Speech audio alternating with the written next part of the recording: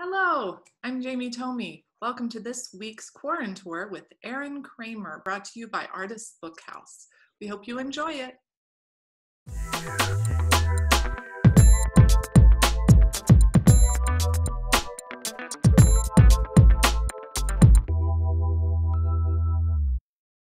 Hello, everyone. Welcome to this week's Evanston Bound Artist Talk and Quarantour. This week we're joined by Erin Cramer coming at us from Crystal Lake, Illinois. Erin, how are you today?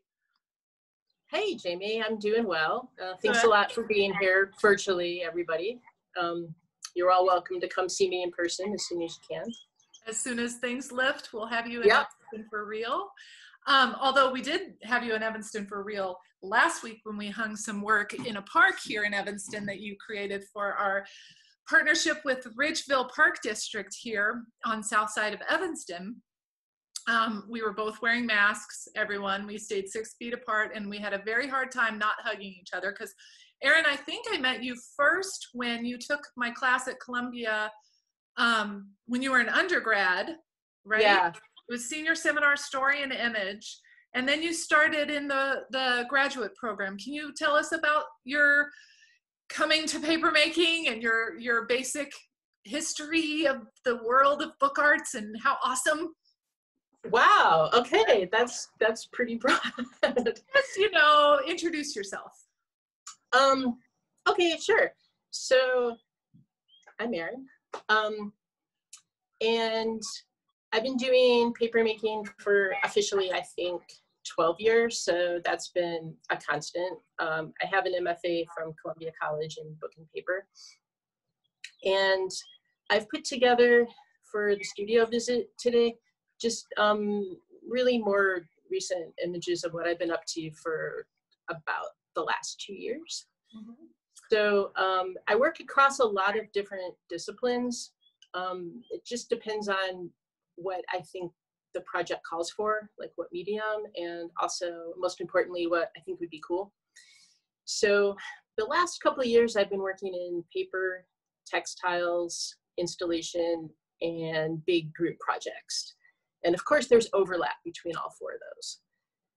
Um, and Ken, the man behind the curtain, is my tech person. So if you could bring up my little business card, I think that's my first. I put together some slides, you guys.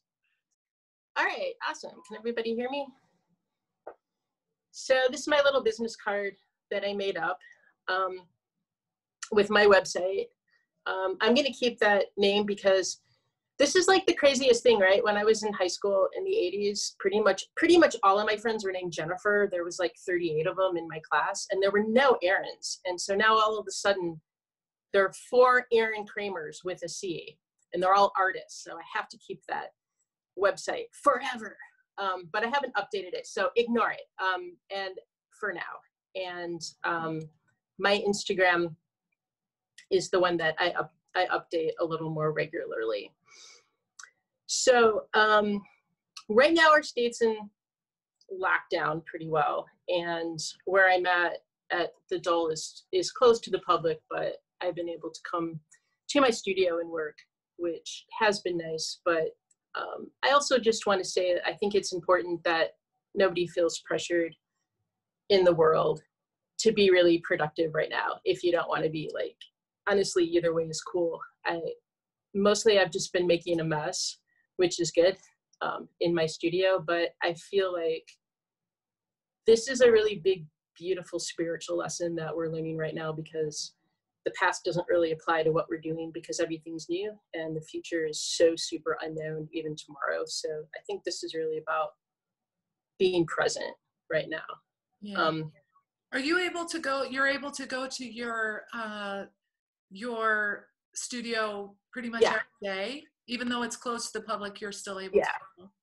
Yeah, so the um, the people who are are renting here still have access. So basically, we can get through the front door and up to our studio. So it's sort of like living in an apartment building, but I've really only seen three or four people here the whole time. But I'm very grateful to have this space to hang out in and work out some new art projects and open the windows and get some fresh air. this is where I am sitting right now. So um, I'm in the old Dole Mansion in Crystal Lake. I'm about 40 miles northwest of Chicago. And it's a really, it's a really awesome space. So if you can see the image that shows pretty, pretty much the whole building, um, that first part of it is the mansion that was finished about 1865. And then um, I'm sitting in the new part. So that's the long part. And that was finished in uh, 1920. So the mansion is still the mansion. They've renovated it on the bottom floor and they renovated um, the the annex, the building part on the first floor. So it's like super fancy. And I put on there just a note because I knew I was going to forget to tell you guys. If you go to their website, you can take a virtual tour of the mansion if you're into that kind of thing. Um, they did a really great job. So you can click your mouse on different points and go around through all the rooms and all the different floors like you're a ghosty. And it's super fun. So I recommend that. And when we open, Sorry. when we open back up, you can come visit. So is this a, this is a building that was um, renovated to make space for artists? Or can you tell us a little bit about how, Sure. yeah, is it studio space for artists? Is it a performance space? What's, what's going on there? Sure. So um, the original Dole Mansion, they were not the pineapple people. Um, but that's still the mansion and it hasn't been renovated very much on the second or third floor or the tower. So basically like the higher up you go, like the more scary and haunted it is, which is awesome.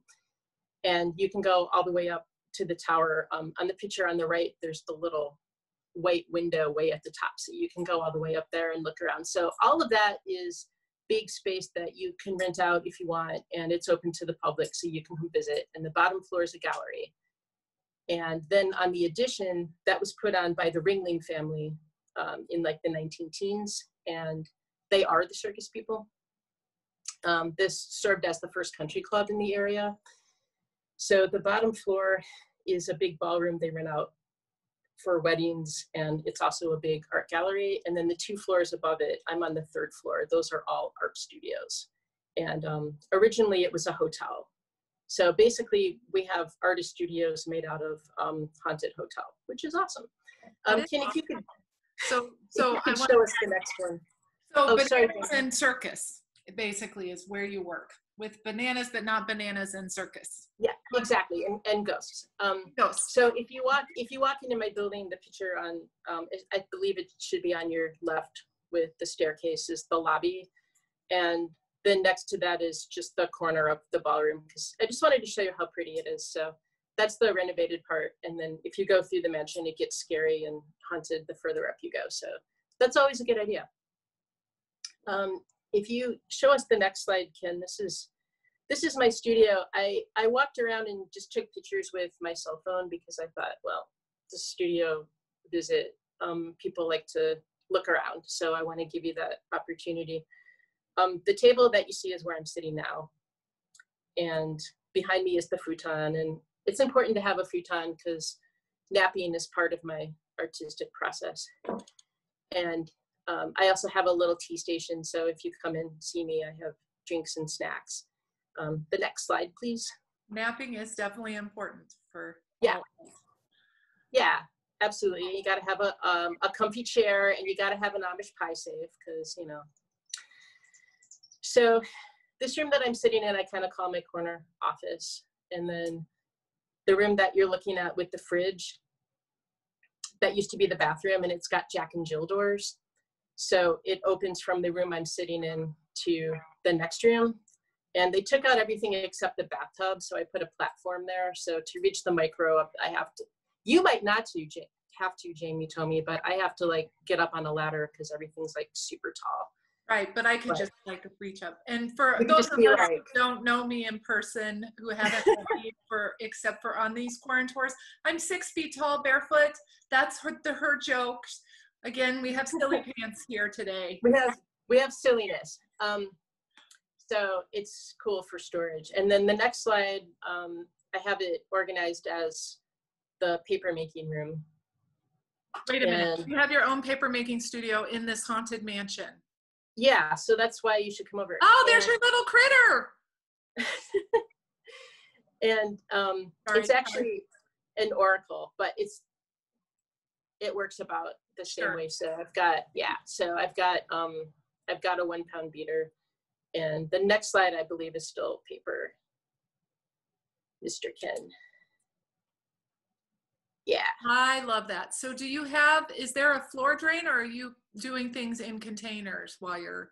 No, I'm just using um, the five gallon buckets and the strainers in my sink. So, so you try and keep the water down pretty I, much. I'm trying to calm down. Yeah. yeah. okay. Because yeah, we're, remember we're things in Columbia, small. we had all the floor drains and I remember yeah. also being very messy there and having yeah um, lots and lots of fun splashing we could, around. We we could use power hoses on the floor and just squeegee the water to a drain. So that that was awesome. I'm, I'm right. trying to convince them to do that here, but they don't think I'm serious for some are reason. You, what floor are you on there? I'm on the third floor. You're on the third floor, so it would be yeah. hard to do a drain system that way, especially if you. But we can do hard things. Okay. so, um, and then the next slide is my sewing room. So as I was taking pictures, I was also trying to link them up so you can get an idea that I'm sort of spinning around the room. So I have this set up that if I have students up here, or if I'm doing a large paper production, I can spill out into the sewing room really easily. Um, the tables also work for paper making, but I can also go the other way if I decide I really want to make a 20 foot quilt or something. I can put all my tables together and spill out into the paper room. So even though I have them separated, they they can still work together pretty well if I need them to. It's like a movable feast. Yeah, a movable feast. I like that. And um, I like things to be soft and mellow and earthy. So I keep my art supplies in my little baskets and yeah, it looks really cozy and lovely. like you would want to actually spend loads of time there during a quarantine. So yeah. I'm glad that you're able to, to be there now and to show us space virtually and to make work. So uh, what are and, you um, what have you been the working? next I think the next slide is my um, singing balcony. Yeah. so this is on the third floor. This balcony is right outside my studio door, so I can go out onto the balcony and sing Evita to the people. I am so jealous of that singing balcony, and I want to see videos of that on your Instagram. Do an Instagram live video of you singing Evita. I demand yeah, absolutely. right now. There, there, there might be some uh, some critters appearing there soon. Okay, so um, the next slide I believe is the wild geese mandalas that you were talking about. Yeah, and these are your pictures, Jamie. So yeah. thanks for. So this was what we hung last week, right? Was it just last week mm-hmm. or was it two weeks ago? Yeah, no, it was just last week. So like I never see you and now I see you all the time. So that's pretty awesome. I know we get to hang virtually and socially distanced in person. So talk, talk through this. we get to wave at each other from right. So this is an artist house sponsored sort of sponsored project. We asked you to, to yeah. make something to hang in a park, and we got permission. Um, the entire city of Evanston is being an art gallery right now across the entire city since the beginning of May. There's an initiative called Evanston Art Connects, and people are encouraged to hang art. We hung there's a lot of things going on. Last weekend, they had a scavenger hunt. There's an artist tour map on the evanstonmade.org website that walks people through the what's going on. There are pictures everywhere all over Instagram. And so we asked a couple of artists to make things that could be hung outside in a park because we connected with the Ridgeville Park District um, here in South Evanston. And they graciously gave us permission to hang things in the park. So um, Erin was gonna hang something on a fire truck playground thing, and then all of a sudden I get this text. I want to do this, and she walked me through this idea. So can you tell people what yeah. these are and what they are from and inspired by? Yeah. I was gonna do something silly and whimsical at first because basically when my friends ask me if I want to do an art thing, I'm like, well, yes, of course. Um, and this was sort of a project that I had in the back of my head that was coming together pretty quickly. Um, my friend gave me some uh, timpani drum heads that are super awesome, and they're four different sizes. So the biggest one is, I think, 33 inches, and then they go down by three inches each. And I was like, oh, these would be really cool to make mandalas. And the quilt that I'm working on right now has a lot of flying geese in it. So I'm like, well, I want to make big flying geese. And then I'm like, yeah. And what I really want to do, because making the mandalas, I feel like turns the park into sacred space. Um, I really wanted to tie that into the Mary Oliver poem, Wild Geese. So that's the whole thing. So um, I love I love that that you thought about making the park a sacred space. That is so beautiful. Yeah. Especially right now when the kids aren't allowed to play on the equipment. We can go in the parks with masks on, and there's a huge field in this park that these mandalas kind of overlook, I guess is what I should say. Um, so I love that. That's so lovely. And um, Andy says, yep, that's the beauty of your decision making process. You don't know what wonderful goodness is going to come out next when Erin Cramer is involved. And that is true. Ah. I was also really happy to do this because it, it helped me reach my, um, my yearly artistic goals are actually very simple, but they're really important to me. So in addition to making art, I also am an, an art educator. Um, so what I what I put out in the world every year is I my, my goals are to, to teach something to someone and also to be a student to learn something new and make a new installation, which is what this is. Um, make a new installation or a body of work and get it out there in the world somewhere and um, work on some kind of group project with my friends. Um, I really love working collaboratively also. So um, this was a really great opportunity to get an installation out that I think is important and and also whimsical. Um, right before this, I had the Keys to the Kingdom installation. So this was the first incarnation, and this was from October, and it was part of Train, which is the big outdoor public art exhibit that started in Oak Park with Sabina Ott. She's the mother of it.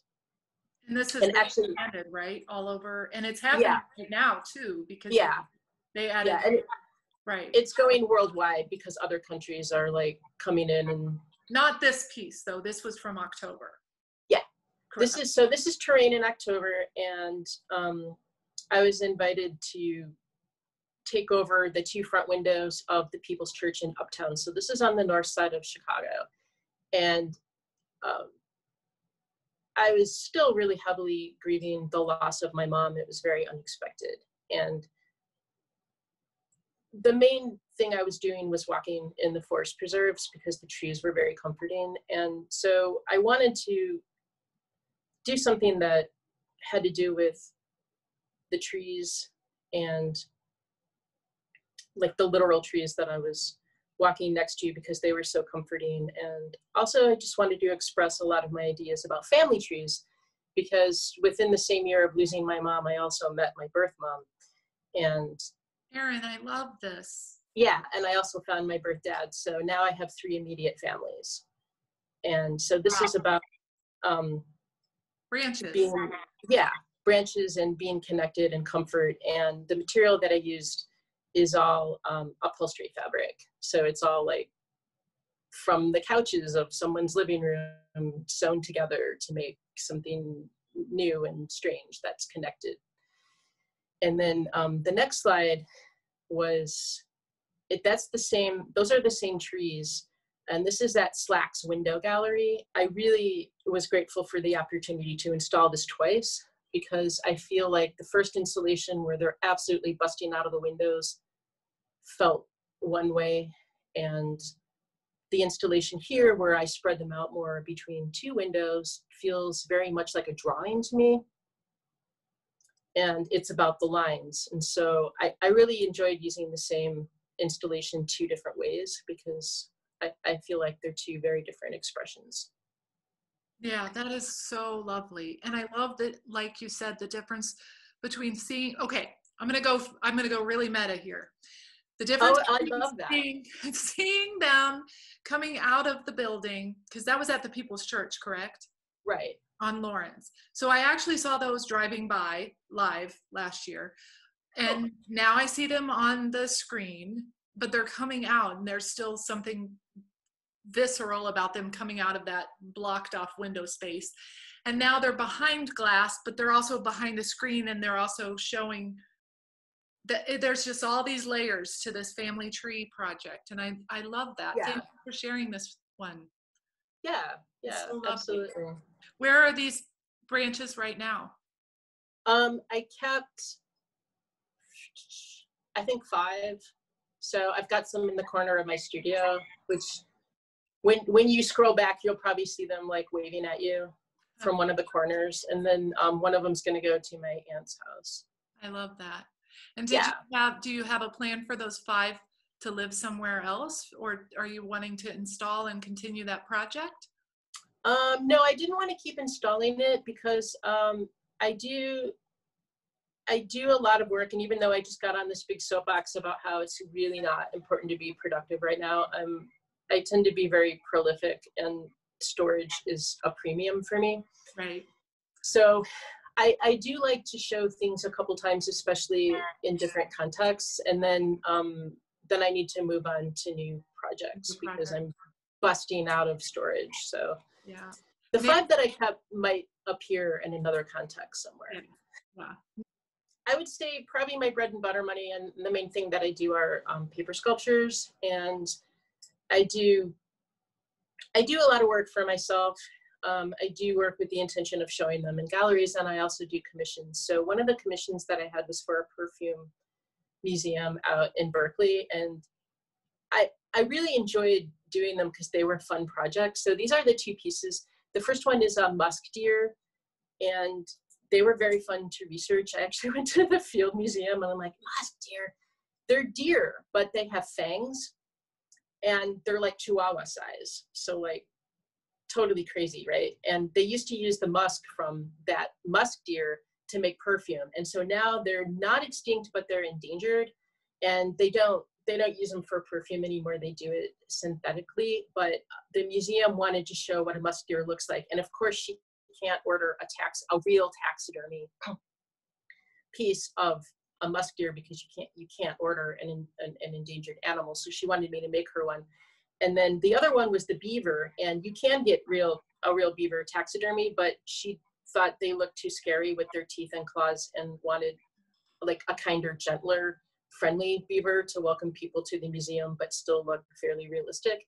So um, that was a, a stylized one. So I didn't show the teeth and claws and uh, made it smile a little bit and that was a really fun experiment too because it was the first time I tried this. I used really, really chunky cotton mm-hmm. and imitated the fur. So, so that um, was highly textured, and it got this amazing press the museum did and then it was like they're like hey let's show the museum and by the way here are these sculptures by Erin Cramer. And I'm like holy cow I'm in Vogue magazine and the Sun Times the New York the, Times. the New York Times and um, Atlas Obscura was another one. Oh my god that's yeah awesome. and Vogue is like she enlisted the help of vegan taxidermist Erin Cramer. And I'm like ah that's so so can you can you talk to us about how you came I know this is this is not recent work what I'm going to ask you is not recent work that you're doing, but can mm-hmm. you talk to us about how you came to this vegan taxidermy of making these animals out of handmade paper? But before you start that, I want to say that Andy Kramer said, as a historian, I'm impressed with the level of historical research you put into your work. So thank you for that comment, Andy. And then Leah says, wonderful example of science, conservation, and arts integration, which of course is Awesome. So can you, can you, walk us through the past, go back in time and talk us through how you started making these wonderful crazy pants again. Um, taxidermied but not real animals out of handmade paper. And are they on wire forms that you create? How how does this work? And how did they find you this perf- perfume museum i have so many questions right now so many questions. Um i learned how to make paper. I took a, a cheap papermaking day workshop with Sean Sheehy at Columbia College in 2005 and was immediately sold on this idea of paper. So really, if, if I were to sum up all, all of my art making in a sentence, it yeah, would try be, to do that. Try um, to do that, Erin Cramer. I can. It's, um, my, my art is about transformation through ritual. So most of the work that I do is very labor intensive and old fashioned. And, you know, the art of paper making hasn't really changed at all, except I have a beater that has electric power, but that's the only thing. Otherwise, mm-hmm. paper making hasn't changed in like hundreds of years. Right. And Actually. I love, I love this idea of taking raw materials, raw plants, and the the labor of transforming the plants into paper and then taking the paper and transforming that into sculpture. So paper has a memory.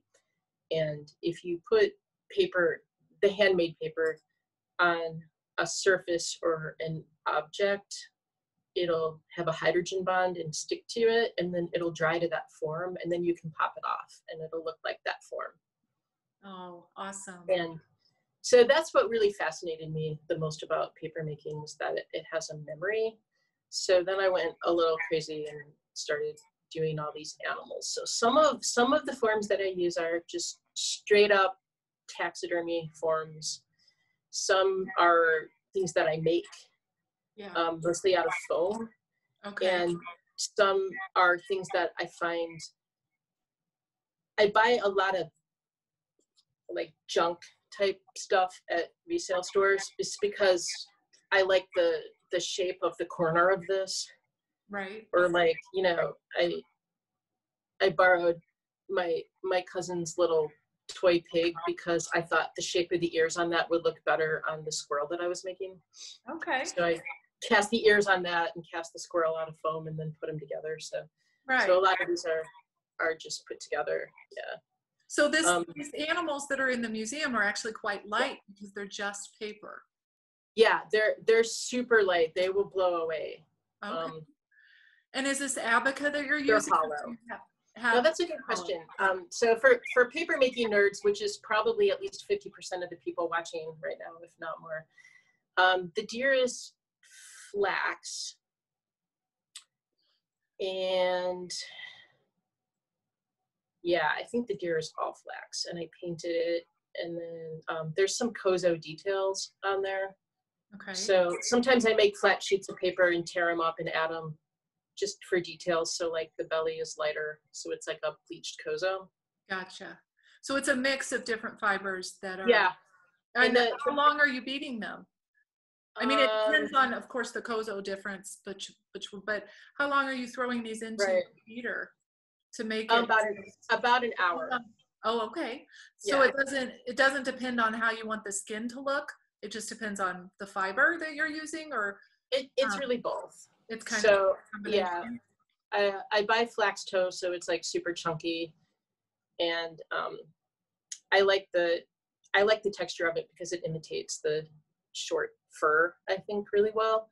And then for the beaver, that was my new challenge because um, I wanted it to look really fuzzy and furry.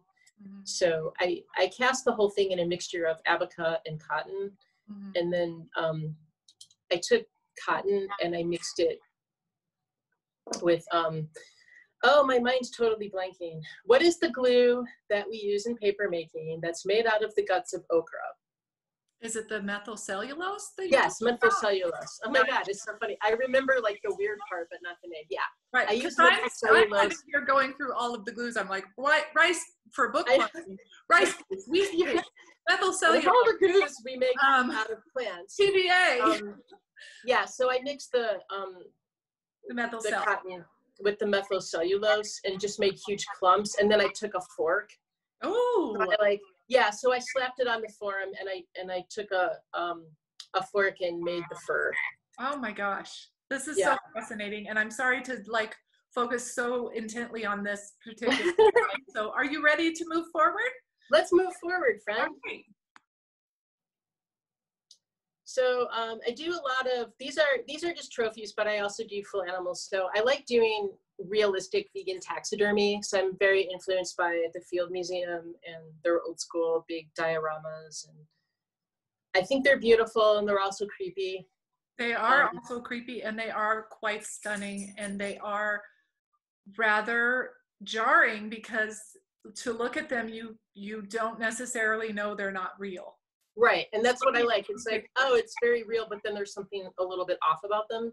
Which is also charming and lovely and creepy. Yeah, yeah, which um which I'm always for. And so everything you're looking at now is life size. Um, I went through this phase where I thought everything had to be life size or like bigger than my body because I really like.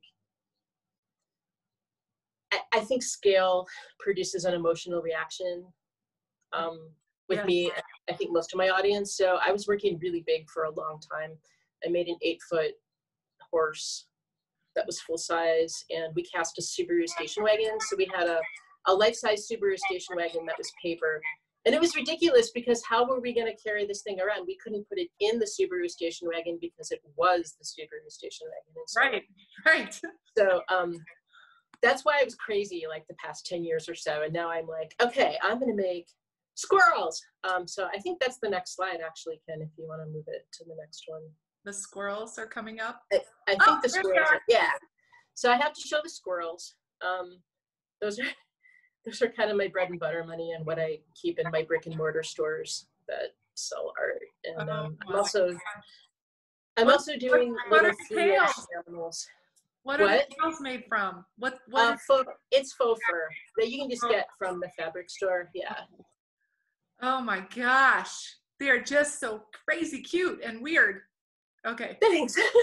yeah. So Oh. Leah says she wants that white squirrel. Leah just says she wants that white squirrel. Okay. so you guys can connect if if that's something you want to connect about. Leah Leah's requesting the white squirrel. Okay. Yeah, absolutely. Um, and then the next slide, I think we changed these around a little bit. Um, so I'm not actually sure what it is. Oh, it is the mask still. So this isn't going on right now, of course, but um, I always try to have some kind of interactive element in my shows. Um, with the installations, I like to create environments for people and for gallery shows. If I'm showing a bunch of my sculptures, uh, I usually get permission to set masks out. And the masks are for sale, but I really encourage people to try them on and take pictures of each other. And I also have fiber boxes that are divided so you can, on one side, you can feel the raw fiber. And on the other side, I have a bunch of samples of paper that I've made from that fiber. So as far as the process goes, you're really only seeing the very beginning and the very end. But I just want I want people to be invited into my world as much as possible. Like basically my philosophy is, um, hey, I have this idea I'm really excited about and I want you to be in on it if you want to be. Yeah. So um, I love that. That was- my last studio visit was end of February. So that's my friend Ron with the horse head. And the middle one's actually Jen Thomas. Oh, Mhm. yay. yeah who moved far far away um, and i think the the crazy kids ken said that one was kind of pixelated so i don't know if you can make it out but i think that was at the bridgeport art center. But i usually put out things for people to try on and touch and check out and it also helps people understand how light the stuff really is. And so like the bigger the piece the more dangerous it is because it'll catch wind. And so one of these days i'm just gonna like blow away or something. Right. um, right. so for the next slide, I put my blue star, some of the blue star creatures that I had made. So I made a whole series of these and they sold out, which I was really happy about because Oh, I'm really excited to make them. So these are all indigo and I drew the constellations on them with the China marker. So I've already started making more of these and now I'm trying to figure out, instead of drawing the constellations with the China marker. I'm trying to figure out how to do them with embroidery. Oh, So I'm oh. using white embroidery thread because I think it pops a lot more and I like the feel of it. Um, embroidery on paper is very, very different than embroidery on fabric. uh-huh. So it's totally unforgiving. Once you poke a hole, it's there forever. And if you poke too many holes, it'll tear out because it'll perforate itself. right. So that's one of the challenges that I'm working on right now. So um, work in progress. I have another one of these crown hares. Um, it's the full the full size hare that you see Yeah. on Are one these- side. So are the, this is, you said this is indigo. Are, what is Yeah. the fiber that you're using? Um, it's a mixture of cotton and abaca. Okay. So most of most of the indigo I'm getting from bolts of uh, denim fiber. So it, it's from the bolt, so it already has the indigo dye in it. So Okay. Denim, of course, is what they make blue jeans out of, but this is like super dark. Mhm. And then um, I don't. I would say most people who do paper sculpture swear by cotton, and that's their go-to fiber. But I just don't think it's strong enough. Yeah, Abaca so- has that extra bit of, Yeah. of hold. to. Abaca has longer fibers, so it's stronger. So I just throw handfuls of it in with the cotton, so they're mixed. Well, I have more questions about these guys, but I oh, want to sure. jump to the chat real quick. Um, Ken says he wants one of these indigo animals, and so does Lisa Beth Robinson. She says me too. All right. And I would like to remind Ken that he has one of my indigo animals in his dining room, but I can Yeah. certainly make him another. so maybe he wants to build his collection for Oh yeah, right on. for truth. So, um, and then Lisa Beth Robinson. I can't not say your full name, Lisa Beth Robinson. I have to say all three. It really has a nice, it has a nice flow to it. It's So got a Lisa good flow. Beth- Lisa Beth Robinson. I don't know if I know you, but we should be friends because you have a cool name and you know Jamie. So Yeah. So um, it's the same way as I always say Erin Cramer, and I can't just say Erin. So uh, Lisa Beth Robinson's question is, would you consider yourself an environmental artist? And of course, says yes and agrees that you should be friends. Um, I'm I'm an environmental I'm an environmental artist by default. Um, of course, I think the environment is important, but that's not what I set out to do. That just happens to be what happened. So um, pretty much all of my art you can eat You can eat. Yes. if you really want to. If you were starving and didn't make it to Costco, Yeah, or you just like you really needed some extra fiber in your diet. literal fiber. Yeah, yeah. Okay. Uh, I love these all- guys. These are I- all Go ahead. recyclable, so I can. You really they they will withstand some water Yeah. because I've had So- things out in the rain quite often. Do you really have to soak the heck out of them? Yeah. Like preferably in really hot water overnight, and then they'll start breaking down, and I can throw them back in the beater and turn the kitty into a bunny or like Right. whatever. So what I have a question about the the sort of thematic element in these blue creatures, these awesome indigo guys. Why what is the focus? Why are you combining the indigo color with the night sky? I understand that because duh. But why are you adding these constellation pieces? What's the what is the the inspiration behind these blue devils? um, I love the, the beautiful deep indigo color, and I love midnight blue in the sky. And these actually grew out of the installation piece that I did in 2018. That was all luminaries. Oh, okay. Um, so when I was doing the luminaries, I just started thinking about like outer space and how we're all connected and how we're connected spiritually to animals. And so that was the connection that I made Um, and plus I love the indigo fiber. So, so um, kind of matches. yeah, most of Go my, ahead. my my work is this weird combination of, oh my God, I totally, I totally overthink everything. And on the other hand, I totally wing it and it's intuitive. So it's like super messed up, but it seems to be working for me for the last 47 years. So I think I'm Yeah. gonna, yeah. So I just want to mention that I would love for you and Leah to connect to talk about some some of the insta uh, constellation things because she's done series of constellation books um, with oh, awesome. lit up things behind them, but most most importantly, umbrellas with the constellations poked out on the umbrella installations. Oh, very cool. So, so I just want to make that connection because I don't know if you are familiar with those pieces. No. her. Um, but then she also just dropped in a question: How has your approach to making and/or the actual artwork changed slash been influenced by the pandemic? And I'm not entirely sure she caught the very, very beginning when you were talking a little bit about that. Mhm. But um, do we have more slides, or can we can we move to that? Um, I would like to, I would like to show the next slide because I'm very excited about it. Okay. Oh, there we are. Um, Through which so face? this is, this But is what I'm doing. His question in a This minute. is what I'm doing right now. Animals with witches face. Yeah, I'm like way obsessed with them. Is this um, rags to witches? Um, no, but I think it should be. This is just for something that you're fascinated by these really creepy, Yeah, weird Um, combination of animal witch things. so I don't, um, I don't want to ignore Leah's question. I guess my, um, my biggest answer is my, I don't, I don't know how my art making has changed exactly because, um, I, I can't analyze something when I'm in the middle of it. Oh. but um,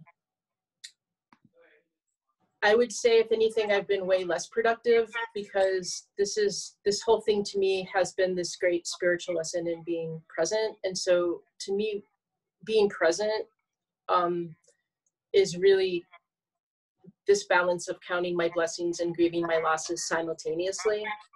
And so sometimes I stay at home and eat all I eat all the cheddar bunnies, and that's all I do. Yeah. And that is an achievement for the day. And that's it and yeah and and and there's some days when i get really productive and you know organize all of my fabric by color and for the most part um, i've been trying new art just because i feel like it and i've been making huge messes and none of it i would show to galleries or show to most people just because i'm just trying to work i'm trying to work things out Yeah. um, so I think that's probably a reflection of my personal life is my art making. So um, there's there's like big messes out in the other room, and it's just it's really about being gentle with myself. You know, like we're out of cheddar bunnies, and that's okay. yeah. Taking and, care um, of yourself. this- this quilt looks ridiculous, and that's okay. And sometimes um, I'm right on the money, and everything I measure works out. And oh my God, I can do math, and that's okay. So it's really about um, being gentle. Yeah. And this is what the witch faced animals, this is the only one I have so far because it's a prototype. So I haven't started making new ones yet. And this is what I was really obsessed with in the like late winter, early spring. So all the Ragdale people who are watching are like, yeah, I know she doesn't shut up about them. But I think um I think where these were going, like these pieces are really about fear and fear in the environment. But um yeah, I'm, I'm gonna I'm gonna stand by that statement, but I, I want to add that they delight me. and I get so happy when I talk about witch-faced animals. So so they make they they delight you. They're great, and then yeah, they're also about something that's really deep within all of us, especially right now. right. Um, so I will I will very joyfully express pieces about fear. And so then um, Ken says, turn them into witch-faced animal puppets. Oh my god, I know. It'll it'll be great.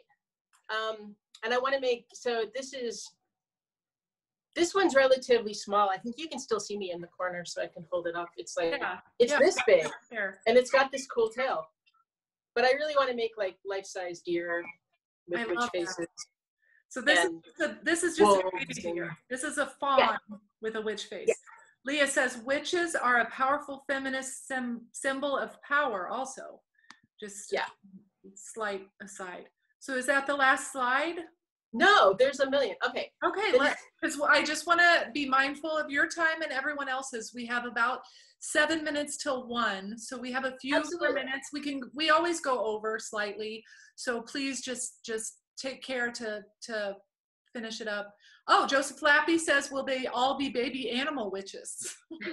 I think there should be a bunch of them for sure. A bunch of baby animals, So- a bunch of life size, everything. I love The that. other- Joseph. the other um the other paper sculpture stuff I'm really into are um, that I'm still making are the uh, Fiji mermaids. So this is some of them. And Ken, if you can go to the next slide, it shows the little. So I'll, those are like three inches tall. They're super. They're super small. Except for the the big one is like ten. So um, I'm working on a series of little Fiji mermaids. Okay. Um, just for a yeah, three inches tall. Wow. I've got my little ruler here and I'm looking at that. That's teeny tiny. What yeah. are they made from? Also fibers? Yeah, it's all it's all abaca all the time. So you're sculpting these little little yeah. things? Okay, Lisa Beth Robinson, love these best historical broadsides ever and excited to see them in the flesh. yeah. So I think um I also like that Ringling actually were the people who started the Fiji mermaids because they were presenting them as real natural history when they used to charge people admission to like come see the wonders of the world. And so I think that they're really fitting for this building that was built by for Ringling sure that I'm sitting in. Um, okay, so let's move on because we're going to talk about let's talk about quilts. Um, so yay! yay! This is Hannah, my quilting assistant. Very, She's very, 20. Doesn't she look great? Very serious. Um, so I didn't know how to sew until about two years ago. And I just started getting like really, really obsessed with quilts. And I like art quilts and I like traditional ones. And I wasn't really sure what it was about, but I was just like, oh my gosh, must learn how to sew. Sure. And um, and I figured out like quilt making really has everything to do with my identity and and working out those kind of issues because in quilting i'm taking existing pieces of fabric from out there in the world and putting them putting them together in a way that makes sense to me so that ultimately i can create an object of comfort i love that so this has been a really strong theme for me so sometimes i make quilts as gifts for people because I love them. And sometimes um, it's they're about color studies, and most of them are conceptual. So we can go through these slides, I think, pretty quickly, Ken. Um, and we can do the next one. So these are just some samples of what I've been working on. And then the next one is more conceptual. So this um, this concept has been my soapbox for a really long time, but it got really big in the last couple of years. Um, and it just has to do with when people find out that I was adopted, which is fine, it's not a secret, but they they want to ask me about my real mom or my real family, and I don't know what that means. Um, I don't know which mom they're referring to or which family or why they would say that because everyone is real and so I just, I've had such a big soapbox about that for such a long time that I wanted to be really passive aggressive about it and make a quote.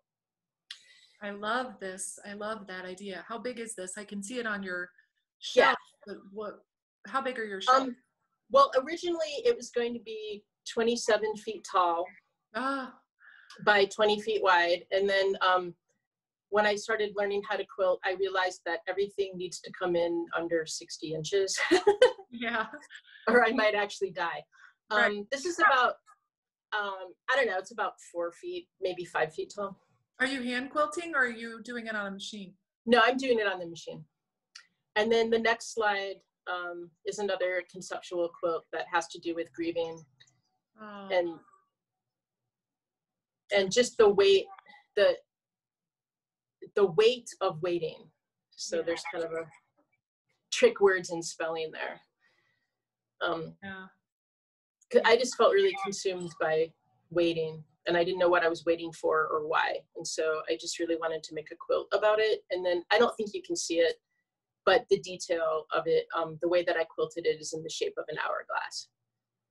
Oh, that's lovely. Thank you. And then the next one is what I'm working on right now.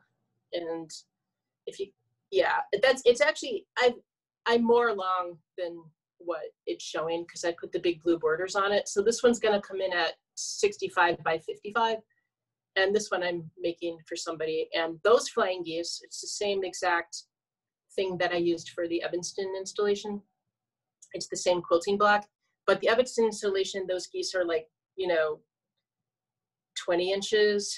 And in the picture that you're looking at, these are four inches. So, so they're smaller for sure. Yeah. And yeah. there's Hannah helping out.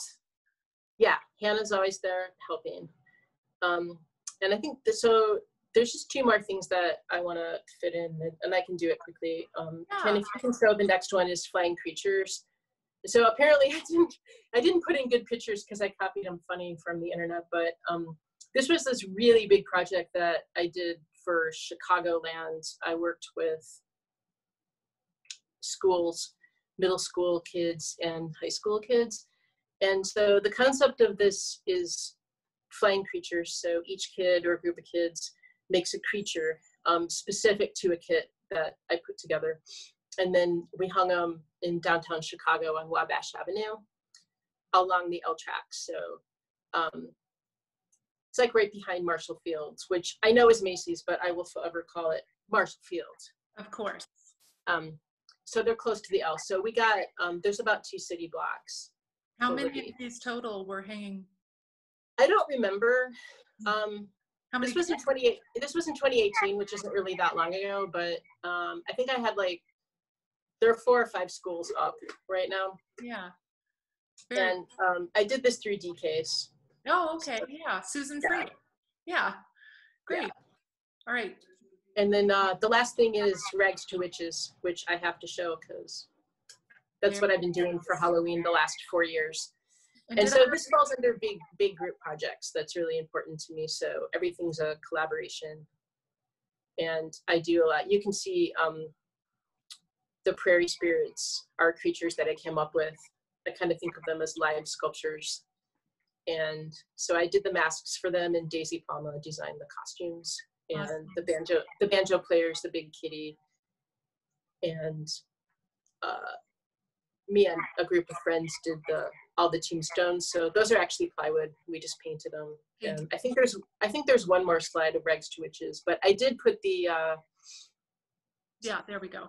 the And website. The, what, yeah, the website I just dropped, I've dropped it Ooh. twice now, I I guess, into the. Oh, great! Yeah, if you go, um, Ken Gurley put together this great website for us last year. So Yeah. last year was year four, so this this year will be year five. But I don't know what we're doing yet. Cool. So I have a few questions in the chat to ask you. And Oh, sure. So Andy Kramer says, absolutely agreed, Leah, about the comment about witches. Feminine power connects all the way back to pre-Christian pagan rituals. And then Joseph Lappie says, Eric Wolfmeyer is a great art quilter in Iowa City. So you should check Oh, that cool. out. Amazing stuff. And then Leah says, from where do you receive feedback, peer support, or critique? Where are you getting your um, critiques and peer peer comments and stuff right now since you are a working artist in the world? Is that question like post grad school or in or the like middle of now, I think. lockdown? I think In it's the middle kind of, of lockdown? I think for Leah, and I'm I'm just gonna guess it's kind of both. So, Okay. um, but primarily like right now in lockdown. Maybe Leah, can you clarify? Do you mean post post grad school during normal times or during lockdown times? both post grad school um, and quarantine. Okay, so two Sure. different, two separate ideas there. Thank you, Leah. Mhm. Sure, those are those are great questions. So um, I have I have a pretty big artist network that um, the core people I know from grad school, but I'm always adding people um, when I'm out and about in the world, and I'm like, oh, I, I like you and I like your work, and we should work together. I love collaborating. So um, my my group gets bigger. It gets bigger and bigger as um, again, you know, it's like, hey, I have this idea and I want you to be in on it and I want you to add your own thing and make it even bigger, and then we'll invite more people. Um, and during during lockdown, I've suddenly become a phone person, so I'm actually more social now than I normally am because I'm um, calling and texting a lot of people. Where normally I'm like, oh, I'm busy, and now I'm like, so what are you doing? Exactly. So so mostly text and and talking Yeah. stuff like this. Yeah, and there's been a lot of texting back and forth of like, oh, I love this artist, or hey, what do you think about this color together? And Right, right. yeah, Or, oh my God, I want to change my whole entire project idea for Evanston Art Connects. Can I do that? Yes. yeah, exactly. That's exactly what I did. Yeah. Jamie, actually, why don't we do this other Actually. That's great. Erin, thank you so much. I thank you for joining us for Erin Cramer's Quarantour, brought to you by Artists Book House. We hope you enjoyed visiting Erin's studio in the Dole Mansion in Crystal Lake, Illinois, and we look forward to next week with Lucy Baxendall in Great Britain. Please join us. If you would like to support more programming like this from Artists Book House, please visit artistbookhouse.org slash donate. Thank you so much. Every single bit helps.